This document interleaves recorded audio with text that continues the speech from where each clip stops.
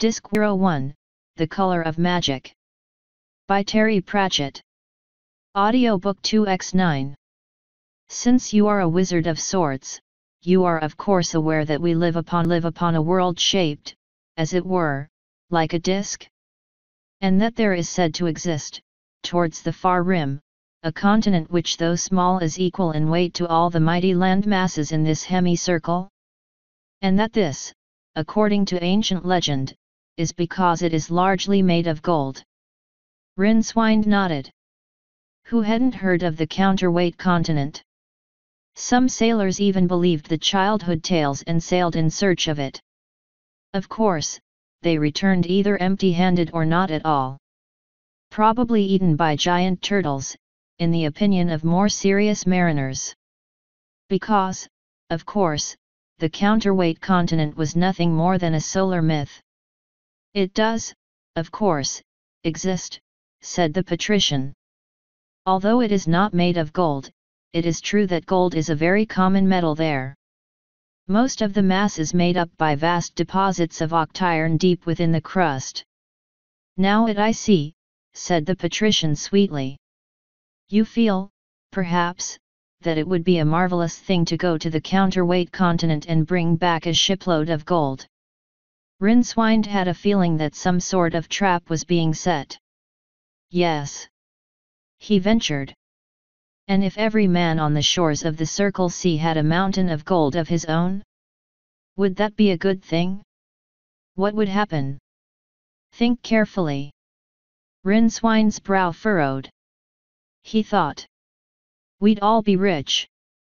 The way the temperature fell at his remark told him that it was not the correct one. I may as well tell you, Rincewind, that there is some contact between the lords of the Circle Sea and the Emperor of the Agatean Empire, as it is styled, the patrician went on. It is only very slight there is little common ground between us. We have nothing they want, and they have nothing we can afford. It is an old empire, Rincewind. Old and cunning however. He landed this morning. He might have met a great hero, or the cunningest of thieves, or some wise and great sage. He met you. He has employed you as a guide. You will be a guide, Rincewind, to this looker, this Twoflower. You will see that he returns home with a good report of our little homeland. What do you say to that? Er. Thank you, Lord, said Rincewind miserably. There is another point, of course. It would be a tragedy should anything untoward happen to our little visitor. It would be dreadful if he were to die, for example. Dreadful for the whole of our land, because the Agatean Emperor looks after his own and could certainly extinguish us at a nod. A mere nod. And that would be dreadful for you, Rincewind, because in the weeks that remained before the Empire's huge mercenary fleet arrived certain of my servants would occupy themselves about your person in the hope that the avenging captains, on their arrival, might find their anger tempered by the sight of your still living body. There are certain spells that can prevent the life departing from a body be it never so abused, the privacy of his own skull. Capital I gather already that you and Flower are on the best of terms. An excellent beginning when he returns safely to his homeland you will not find me ungrateful. I shall probably even dismiss the charges against you. Thank you, Rincewind. You may go. Rincewind decided not to ask for the return of his five remaining rhinu. He backed away, cautiously. Oh, and there is one other thing, the patrician said, as the wizard groped for the door handles. Yes, lord. He replied, with a sinking heart. I am sure you won't dream of trying to escape from your obligations by fleeing the city. I judge you to be a born city person. But you may be sure that the lords of the other cities will be appraised of these conditions by nightfall. I assure you the thought never even crossed my mind, Lord. Indeed? Then if I were you I'd sue my face for slander. The dark interior of the drum was a broil of fighting men, quite a number of them. A third and longer glance confirmed. In bits. Rincewind swayed back as a wildly thrown stool sailed past and smashed on the far side of the street. Then he dived in. He was wearing a dark robe, made darker by constant wear and irregular washings. In the raging gloom no one appeared to notice a shadowy shape that shuffled desperately from table to table. At one point a fighter, staggering back, trod on what felt like fingers. A number of what felt like teeth bit his ankle. He yelped shrilly and dropped his guard just sufficiently for a sword, swung by a surprised opponent, to skewer him. Rincewind reached the stairway, sucking his bruised hand and running with a curious, bent-over gait. A crossbow quarrel thunked into the banister rail above him, and he gave a whimper. He made the stairs in one breathless rush, expecting at any moment another, more accurate shot. Hurled it. Rincewind ducked. There was a brief scream behind him as the crossbow man, sighting down his weapon, dropped it and clutched at his throat. The big man was already reaching for another knife. Rincewind looked around wildly, and then with wild improvisation drew himself up into a wizardly pose. His hand was flung back. A sonatai. Kuruchel Beaselblier. The man hesitated, his eyes flicking nervously from side to side as he waited for the magic. The conclusion that there was not going to be any hit him at the same time as Rincewind, whirring wildly down the passage, kicked him sharply in the groin. As he screamed and clutched at himself the wizard dragged open the door, sprang inside, slammed it behind him and threw his body against it, panting.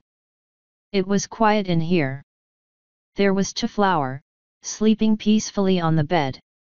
And there, at the foot of the bed, was the luggage. Rincewind took a few steps forward, cupidity moving him as easily as if Rincewind looked at his fingers, and then at the lid. It looked heavy, and was bound with brass bands. It was quite still now. What wind? Rincewind. Flower sprang off the bed. The wizard jumped back, wrenching his features into a smile. My dear chap, right on time. We'll just have lunch, and then I am sure you've got a wonderful program lined up for this afternoon. That's great, Rincewind took a deep breath. Look, he said desperately, let's eat somewhere else. There's been a bit of a fight down below. A tavern brawl? Why didn't you wake me up? Well, you see, I. What? I thought I made myself clear this morning, Rincewind.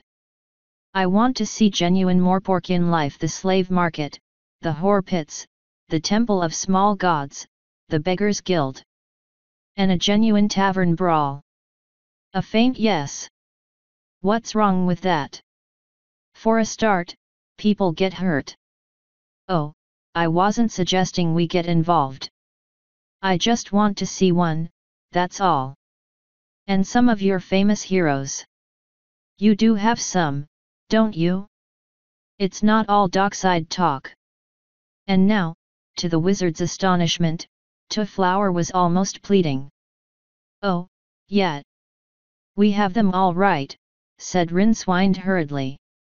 He pictured them in his mind, and recoiled from the thought. All the heroes of the Circle Sea passed through the gates of Ankh-Morpork sooner or later. Most of them were from the barbaric tribes near the frozen hub, which had a sort of export trade in heroes almost all of them had crude magic swords, whose unsuppressed harmonics on the astral plane played hell with any delicate experiments in applied sorcery for miles around, but Rincewind didn't object to them on that score. He knew himself to be a magical dropout, so it didn't bother him that the mere Ising Eroda. He rubbed his nose. The only heroes he had much time for were Bravd and the Weasel, who were out of town at the moment, and Hrun the Barbarian, who was practically an academic by hub standards in that he could think without moving his lips. Hrun was said to be roving somewhere turnwise. Look, he said at last. Have you ever met a barbarian? Flower shook his head. I was afraid of that, said Rincewind. Well. Theory there was a clatter of running feet in the street outside and a fresh uproar from downstairs. It was followed by a commotion on the stairs. The door was flung open before Rincewind could collect himself sufficiently to make a dash for the window. But instead of the greed-crazed madman he expected, he found himself looking into the round red face of a sergeant of the watch. He breathed again. Of course. The watch were always careful not to intervene too soon in any brawl where the odds were not heavily ignored him. This the foreigner? He inquired. We were just leaving, said Rincewind quickly, and switched to Trob. To Flower, I think we ought to get lunch somewhere else. I know some places. He marched out into the corridor with as much aplomb as he could muster. Twoflower followed, and a few seconds later there was a strangling sound from the sergeant as the luggage closed its lid with a snap, stood up, stretched, and marched after them. Watchmen were dragging bodies out of the room downstairs. There were no survivors. The watch had ensured this by giving them ample time to escape via the back door, a neat compromise between caution and justice that benefited all parties. Who are all these men? said Twoflower. Oh, you know. Just men, said Rincewind. And before he could stop himself some part of his brain that had nothing to do took control of his mouth and added, heroes, in fact. Zanel is Hrun the barbarian here. Said Twoflower, looking around eagerly. Rincewind took a deep breath. That's him behind us, he said. The enormity of this lie was so great that its ripples did in fact spread out one of the lower astral planes as far as the magical quarter across the river, where it picked up tremendous velocity from the huge standing wave of power that always hovered there and bounced wildly across the circle sea. A harmonic got as far as Hrun himself, currently fighting a couple of gnolls on a crumbling ledge high in the Kadrak Mountains, and caused him a moment's unexplained discomfort. Twoflower, meanwhile, had thrown back the lid of the luggage and was hastily pulling out a heavy black cube. This is fantastic, he said. They're never going to believe this at home. What's he going on about? said the sergeant doubtfully. Them all to stand over by the window, please? This won't take a moment. And, er, Rincewind? Yes. Twoflower stood on tiptoe to whisper. I expect you know what this is, don't you? Rincewind stared down at the box. It had a round glass eye protruding from the center of one face, and a lever at the back. Not wholly, he said. It's a device for making pictures quickly, said Twoflower. Quite a new invention. I am rather proud of it but, look, I don't think these gentlemen would. Well, I mean they might be. Sort of apprehensive? Could you explain it to them? I'll reimburse them for their time, of course. He's got a box with a demon in it that draws pictures, said Rincewind shortly. Do what the madman says and he will give you gold. The watch smiled nervously. High above the disk the second albatross soared, so high in fact that its tiny mad orange eyes could see the whole of the world and the great, glittering, girdling circle sea. There was a yellow message capsule strapped to one leg. Far below it, unseen in the clouds, the bird that had brought the earlier message to the patrician of Ankh-Morpork flapped gently back to its home. Rincewind looked at the tiny square of glass in astonishment. There he was, all right. A tiny figure, in perfect color, standing in front of a group of watchmen whose faces were each frozen in a terrified rictus. A buzz of wordless terror went up from the men around him as they craned over his shoulder to look. Grinning, Twoflower produced a handful of the smaller coins Rincewind now recognized as quarter rhinu. He winked at the wizard. I had similar problems when I stopped over in the Brown Islands, he said. They thought the iconograph steals a bit of their souls. Laughable, isn't it? The coins quietened the men's agitation in the way that gold can, and Rincewind was amazed to find, half a minute later, that he was holding a little glass portrait of Flower wielding a huge notched sword and smiling as though all his dreams had come true. They lunched at a small eating house near the Brass Bridge, with the luggage nestling under the table. The food and wine, both far superior to Rincewind's normal fare, did much to relax him. Things weren't going to be too bad, he decided. A bit of invention and some quick thinking, that was all that was needed. Twoflower seemed to be thinking too. Looking reflectively into his wine cup he said, Tavern fights are pretty common around here, I expect. Oh, fairly. No doubt fixtures and fittings get damaged. Fixed. Oh, I see. You mean like benches and whatnot? Yes, I suppose so. That must be upsetting for the innkeepers. You did say you wanted to try some typical Morporcan food, said Rincewind. What was that about risks? Oh, I know all about risks. They're my business. I thought that's what you said. I didn't believe it the first time either. Oh, I don't take risks. About the most exciting thing that happened to me was knocking some ink over. I assess risks. Day after day. Do you know what the odds are against a house catching fire in the Red Triangle district of Bes Pelargic? 538 to 1. I calculated that, he added with a trace of pride. Wat Rincewind tried to suppress a burp what for? Excuse me. He helped himself to some more wine for Twoflower paused. I can't say it in Trob, I don't think the Betrobi have a word for it. In our language we call it he said a collection of outlandish syllables. Insuarance, repeated Rincewind. That's a funny word. Vos it mean? Well suppose you have a ship loaded with, say, gold bars.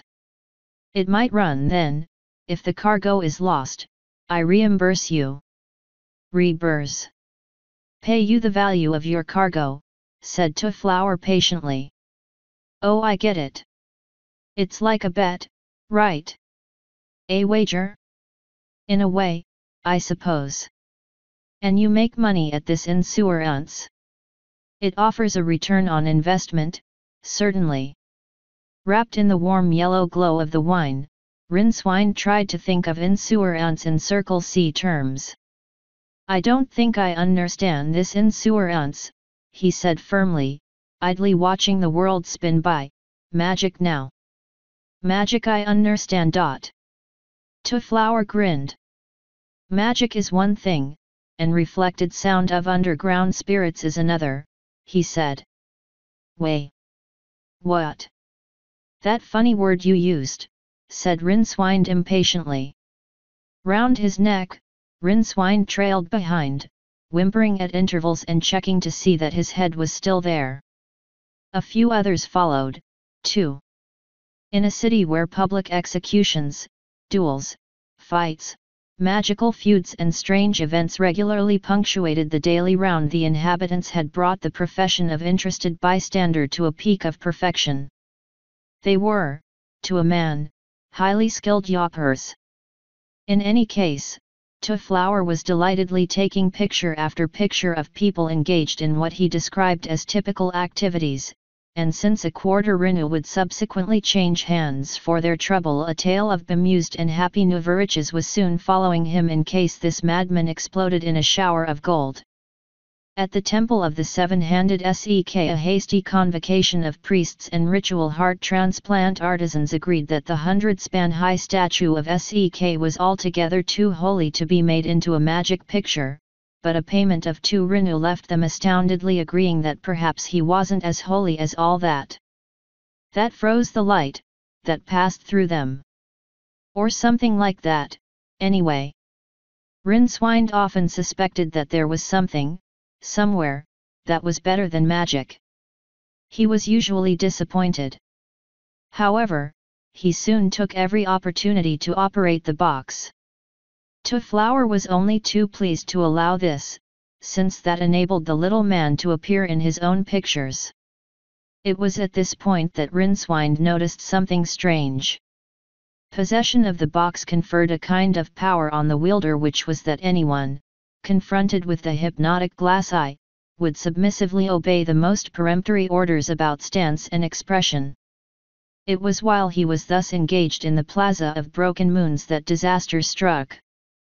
Flower had posed alongside a bewildered charm seller, his crowd of newfound admirers watching him with interest in case he did something humorously lunatic.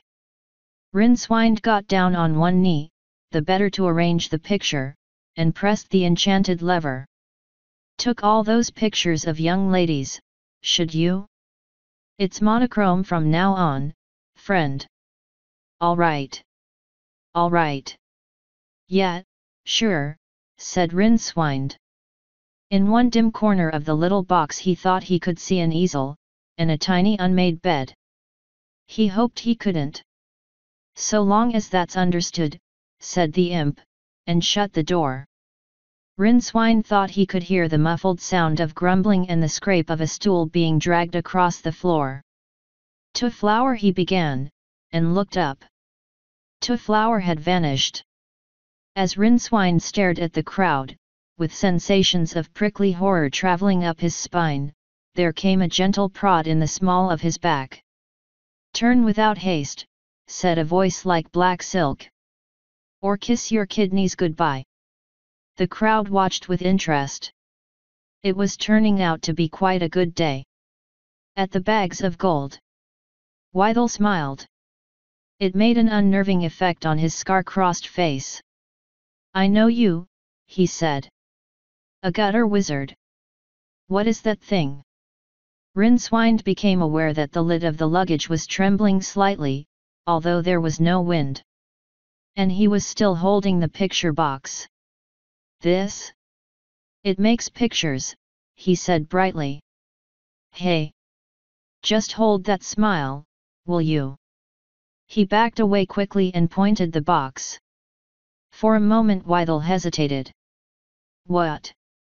He said. That's fine, hold it just like that. Said Rincewind. The thief paused, then growled and swung his sword back. There was a snap, and a duet of horrible screams Rincewind did not glance around for fear of the terrible things he might see, and by the time Wydell looked for him again he was on the other side of the plaza and still accelerating. The albatross descended in wide, slow sweeps that ended in an undignified carelessness brought on by surprise. Sucking at the nasty beak wound on the back of his hand Rincewind pounded down an alley, paying no heed to the screams of rage coming from the picture box and cleared a high wall with his frayed robe flapping around him like the feathers of a disheveled jackdaw. He landed in the forecourt of a carpet shop, scattering the merchandise and customers dived through its rear exit trailing apologies skidded down another alley and stopped, teetering dangerously, just as he was about to plunge unthinkingly into the Ankh. There are said to be some mystic rivers one drop of which can steal a man's life away. After its turbid passage through the Twin Cities the Ankh could have been one of them. In the distance the cries of rage took on a shrill note of terror. Rincewind looked around desperately for a boat, or a handhold up the sheer walls on either side of him. He was trapped. Unbidden, the spell welled up in his mind. It was perhaps untrue to say medicine had been unable to coax it. Precisely which one it was they were also unable to ascertain, except that it was one of the eight basic spells that were intricately interwoven with the very fabric of time and space itself. Since then it had been showing a worrying tendency, when Rincewind was feeling run down or especially threatened, to try to get itself said. He clenched his teeth together but the first syllable forced itself around the corner of his mouth. His left hand raised involuntarily and, as the magical force whirled him round, began to give off octarine sparks. The luggage hurtled around the corner, its several hundred knees moving like pistons. Rincewind gaped. The spell died, unsaid. The box didn't appear to be hampered in any way by the ornamental rug draped roguishly over it, nor by the thief hanging by one arm from the lid. It was in a very real sense, a dead weight. Further along the lid were the remains of two fingers, owner unknown. Presumably the box had to have a master. In the absence of Flower, had it adopted him? The tide was turning and he could see debris drifting downstream in the yellow afternoon light towards the river gate, a mere hundred yards downstream. It was the work of a moment to let the dead thief join them. Even if it was found later it would hardly cause comment. And the sharks in the Ankh were used to solid, regular meals. Rincewind watched the body drift away, and considered his next move. The luggage would probably float. All he had to do was wait until dusk, and then go out with the tide. There were plenty of wild places downstream where he could wait ashore, and then... Well, if the patrician really had sent out word about him then a change of clothing and a shave should take care of that. In any case, there were other lands and he had a facility for languages. Let him but get to Chimera or Ghanem or Ecalpon and half a dozen armies couldn't bring him back. And then wealth, comfort, security. Ah, Gorful, said the patrician pleasantly. Come in. Sit down. Can I press you to a candied starfish? I am yours to command, master, said the old man calmly. Save, perhaps, in the matter of preserved echinoderms. The patrician shrugged, and indicated the scroll on the table. Read that, he said. Gorful picked up the parchment and raised one eyebrow slightly when he saw the familiar ideograms of the Golden Empire. He read in silence for perhaps a minute, and then turned the scroll over to examine minutely the seal on the obverse. You are famed as a student of empire affairs, said the patrician. Can you explain this? Knowledge in the matter of the empire lies less in noting particular events than in studying a certain cast of mind, said the old diplomat. The message is curious, yes, but not surprising. This morning the emperor instructed, the patrician allowed himself the in the service of several emperors. He regards them as a necessary but tiresome ingredient in the successful running of the empire. He does not like things out of place. The empire was not built by allowing things to get out of place. That is his view. I begin to see, said the patrician. Quite so. Gorful smiled into his beard. This tourist is a thing that is out of place. After acceding to his master's wishes nine turning mirrors would, I am quite sure, make his own arrangements with a view to ensuring that one wanderer would not be allowed to return home bringing, perhaps, the disease of dissatisfaction. The empire likes people to stay where it puts them. So much more convenient, then, if this Twoflower disappears for good in the barbarian lands. Meaning here, master. And your advice? said the patrician. Gorful shrugged. Merely that you should do nothing. Matters will undoubtedly resolve quite so, master. The patrician nodded. It was all rather a relief. He agreed with nine turning mirrors. Life was difficult enough, people ought to stay where they were put. Brilliant constellations shone down on the Discworld. One by one the traders shuttered their shops. One by one the gonifs, thieves, fine wirers, whores, illusionists, backsliders, and second-story men awoke and breakfasted. Wizards went about their polydimensional affairs. Tonight saw the conjunction of two powerful planets, and already the air over the magical quarter was hazy with early spells. Look, said Rincewind, this isn't getting us anywhere. He inched sideways. The luggage followed faithfully, lid half open and menacing. Rincewind briefly considered making a desperate leap to safety. The lid smacked in anticipation. In any case, he told himself with sinking heart, the damn thing would only follow him again. It had that dogged look about it. Even if he managed to get to a horse, he had a nasty suspicion that the box moved forward slightly. Now there was just a narrow strip of greasy jetty between Rincewind's heels and the river. A flash of precognition told him that the box would be able to swim faster than he could. He tried not to imagine what it would be like to drown in the Ankh. It won't stop until you give in, you know, said a small voice conversationally. Rincewind looked down at the iconograph, still hanging around his neck. Its trapdoor was open and the homunculus was leaning against the trap, smoking a pipe and watching the proceedings with amusement. I'll take you in with me, at least, said Rincewind through gritted teeth. The imp took the pipe out of his mouth. What did you say? He said. I said I'll take you in with me, damn it. Suit yourself. The imp tapped the side of the box meaningfully. We'll see who sinks first. The luggage yawned, and moved forward a fraction of an inch. You're a wizard, said the picture imp. You'll think of some way to find him. Not much of a wizard, I am afraid. You can just jump down on everyone and turn them into worms, the imp added encouragingly, ignoring his last remark. No. Turning to animals is an 8th level spell. I never even completed my training. I only know one spell. Well, that'll do.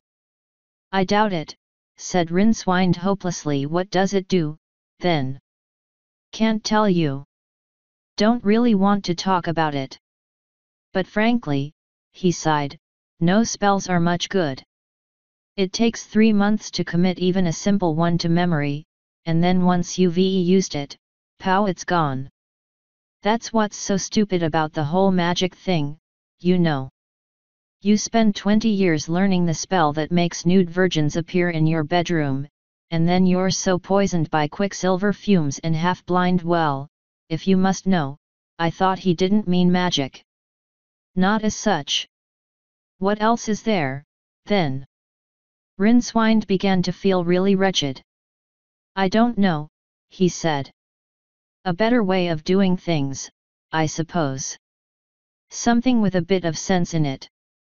Harnessing. Harnessing the lightning, or something. The imp gave him a kind but pitying look. Lightning is the spears hurled by the thunder giants when they fight, it said gently, established meteorological fact. You can't harness it. I know, said Rincewind miserably. That's the flaw in the argument, of course. The imp nodded. And disappeared into the depths of the iconograph. A few moments later Rincewind smelled bacon frying. He waited until his stomach couldn't stand the strain anymore, and rapped on the box. The imp reappeared. I've been thinking about what you said, it said even before Rincewind's stomach. Eat something, then. That's logic. How?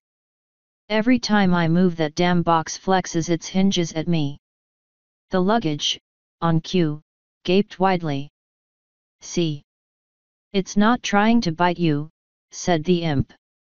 There's food in there. You're no use to it starved. Rincewind peered into the dark recesses of the luggage. There were indeed, among the chaos of boxes and bags of gold, several bottles and packages in oiled paper. He gave a cynical laugh, mooched around the abandoned jetty until he found a piece of wood about the right length, wedged it as politely as possible in the gap between the lid and the box, and pulled out one of the flat packages. It held biscuits that turned out to be as hard as diamond wood. Bloody hell, he muttered, nursing his teeth. Captain Eightpanther's Travelers digestives them, said the imp from the doorway to his box, saved many a life at sea, they have. Trust. Yes. That's what he didn't, the water here. See? Rincewind opened a bottle. The liquid inside might have been water. It had a flat, empty flavor, with no trace of life. Neither taste nor smell. He grumbled the luggage gave a little creak, attracting his attention. With a lazy air of calculated menace it shut its lid slowly, grinding Rincewind's impromptu wedge like a dry loaf. All right, all right, he said. I am thinking. Ymor's headquarters were in the Leaning Tower at the junction of Rime Street and Frost Alley. At midnight the solitary guard leaning in the shadows looked up at the conjoining planets and wondered idly what change in his fortunes they might herald. There was the faintest of sounds, as of a gnat yawning. The guard glanced down the deserted street, and now caught the glimmer of moonlight on something lying in the mud a few yards away. He picked it up. The lunar light gleamed on gold, and his intake of breath was almost true, that something as heavy as gold could fall naturally from the sky. As he drew level with the opposite alley mouth some more fell. It was still in its bag, there was an awful lot of it, and Rincewind brought it down heavily onto his head. When the guard came to he found himself looking up into the wild-eyed face of a wizard, who was menacing his throat with his sword. In the darkness too, something was gripping his leg. It was the disconcerting sort of grip that suggested that the gripper could grip a whole lot harder, if he wanted to. Where is he, the rich foreigner? hissed the wizard. Quickly! What's holding my leg? said the man, with a note of terror in his voice. He tried to wriggle free. The pressure increased you wouldn't want to know, said Rincewind pay attention, please. Where's the foreigner? Not here. They ve got him at Broadman's place. Out of the dark and plunged off after the wizard. Something with hundreds of tiny feet. With only his homemade phrase book to help him Twoflower was trying to explain the mysteries of Insour ants to Broadman. The fat innkeeper was listening intently, his little black eyes glittering. From the other end of the table Ymor watched with mild amusement, occasionally feeding one of his ravens with scraps from his plate. Beside him Withel paced up and down. You fret too much, said Ymor, without taking his eyes from the two men opposite him. I can feel it Stren. Who would dare attack us here? And the gutter wizard will come. He's too much of a coward not to. And he'll try to bargain. And we shall have him. And the gold. And the chest. Withel's one eye glared, and he made a fist into the palm of a black-gloved hand. Audiobook generated by, Read with the Ears